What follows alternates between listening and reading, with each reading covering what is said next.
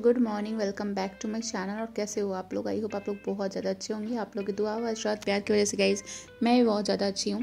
तो सुबह के साढ़े आठ बज रहे थे, मैं यहाँ पे फ्रूट सैलड रेडी कर रही हूँ तो यहाँ पे ना मैं मस्क मैलन को ले चुकी हूँ, उसको हाफ़ कट करने के बाद उसकी अंदर के बीज निकाल रही हूँ और मुझे गर्मियों के दिन में ना मस्क मेलन बहुत अच्छा लगता है, जो कि खरबूजा हमारी तरफ़ बोलते हैं।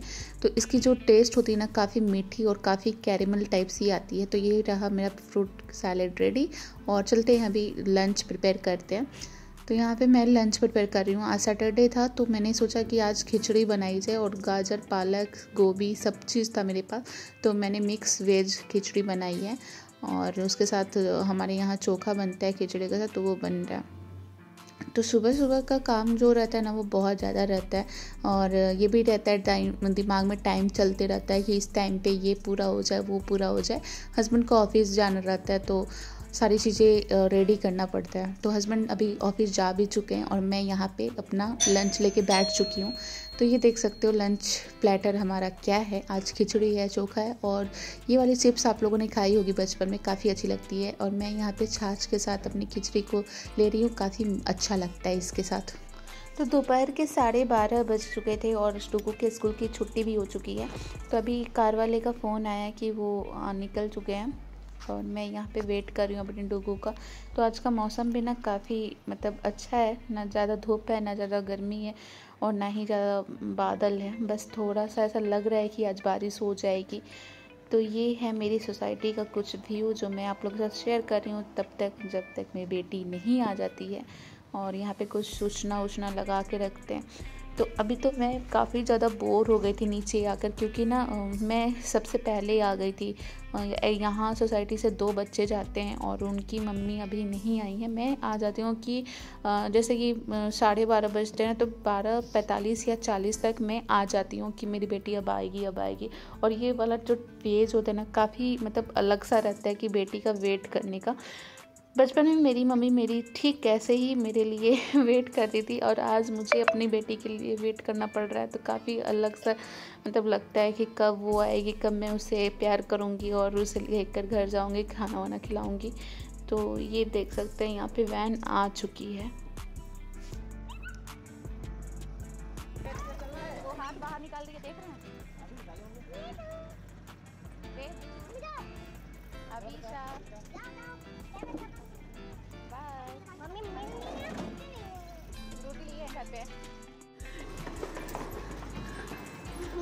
कैसा रहा स्कूल? अच्छा लगा?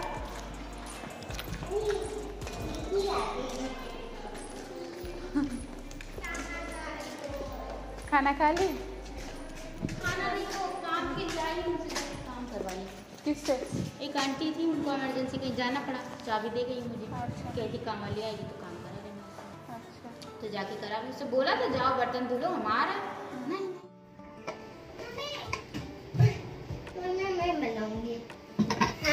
खाना वाले हैं।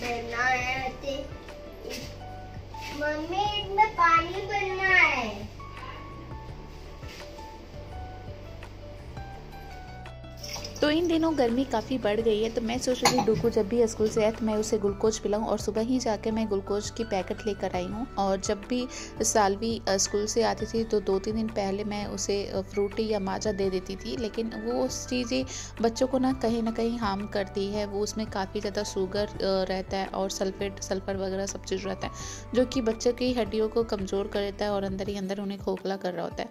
तो मैं सोची कि उसकी सारी चीज़ें सब्सटीट्यूट ली जाए, जो हेल्दी हो। मम्मी मैं मिक्स कर दूँगी इसको मिक्स कर ले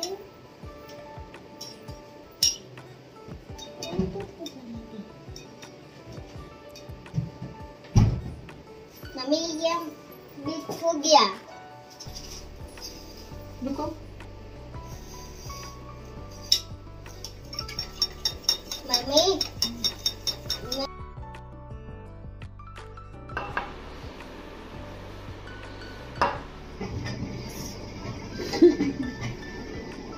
मम्मी ये वाला। तुम बोली बड़ा वाला पीऊँगी। तो यहाँ मैं डुगू से थोड़ी बहुत बातें कर रही हूँ तो जो कि उसके स्कूल से रिलेटेड है और वैन में जो बातें होती है स्कूल में बातें होती है तो थोड़ी बहुत बातें करने से ना बच्चे थोड़ा खुलते हैं पेरेंट्स से और जो कुछ चीज़ें सीक्रेट नहीं रखते और सारी चीज़ें बताते हैं। तो मैं कोशिश करती हूँ कि उसकी सारी बातें मुझे पता हो। हुआ? एक बजे मैं खाऊँगी मम्मी। एक बज चुका है बेटा।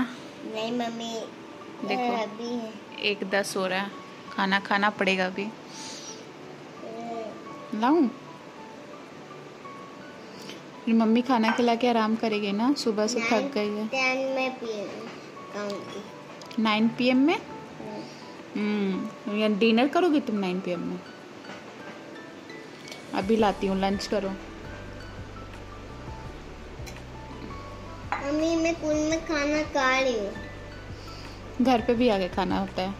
सारे बच्चे घर पे भी खाते हैं आके। मम्मी मेरा अभी क्या है उसमें? चीनी है। चीनी है? हाँ चीनी है। चीनी पसंद नहीं है? हम्म? इधर देखो चीनी पसंद नहीं है? ना नहीं अच्छा ये बताओ स्कूल में क्या हुआ? स्कूल में ना एक पढ़ाई करना था। कौन सा पढ़ाई? अरे एक दिन से वो नहीं खेलते हैं। कौन सा खेलते हैं? ऊपरी बॉल को डब्बे में नहीं जाते हैं। हाँ, हाँ, वो हाँ। वाला करके लेती। अच्छा खेल रहे थे। हम्म। मैम कुछ लिखवाई नहीं? मैम ने मुझे ना हाँ। एक अलार्म नहीं दिया। हाँ? मैं रोने मैं घर पे आके रोने लगी। नाम नहीं दिया? हाँ नाम नहीं दिया। क्यों नहीं दिया? मैं घर के आके तुम अच्छा नहीं की थी? अच्छे से नहीं लिखी होगी। नहीं मम्मी मैं मैम ना मुझे ना एक एक एक ना एक है गिर जाओगे नीचे। एक ना? वो वाला नाम नहीं अभी बात करता नहीं है। किसकी बेटी हो? मम्मी कहीं प्यार करती हो? हाँ। हाँ।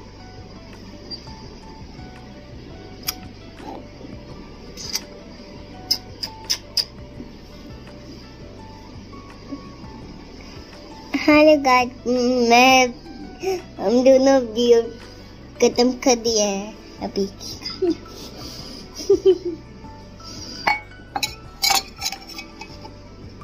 वाह वेरी गुड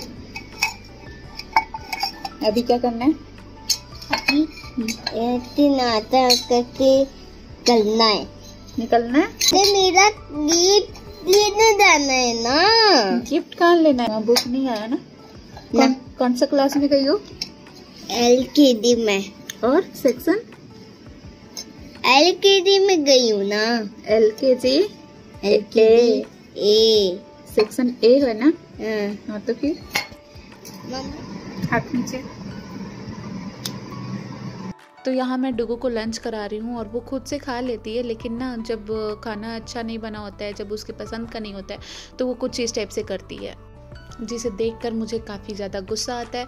और पता है, उसे ना खिचड़ी बिल्कुल पसंद नहीं है। और दाल की आइटम तो एकदम नहीं पसंद। वो दाल चावल कभी खाती नहीं है। सिर्फ़ राइस ले लेगी और उसके साथ कोई सब्ज़ी, भुजिया या कुछ भी हो, सूखी सब्ज़ी तो वो खा लेती है। लेकिन दाल वाली चीज़ें पसंद नहीं करती। तो उसे ज़बरदस्ती मैं पकड़ के खिला रही हूँ ताकि उसकी बॉडी में किसी चीज़ की ये ना रहे डिफिशेंसी ना रहे। सब चीज़ की नीड रिक्वायरमेंट पूरी हो जाए।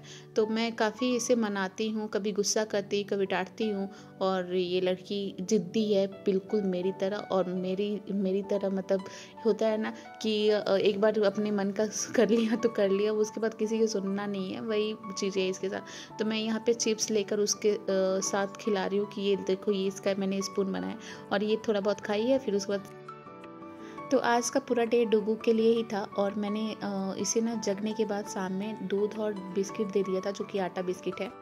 और वो इस वक्त काफ़ी ज़्यादा क्रैंकी हो गई थी, वो बोल रहे थे कि अब मेरा रिकॉर्ड मत करो।